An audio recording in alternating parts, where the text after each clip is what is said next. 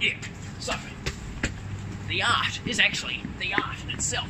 Through the art, we're going to be making the art of the artist's eyes. The art, the, the, the, the art. Through the art of the artist's art eyes. The art, artist's eyes. Right, I've completely lost.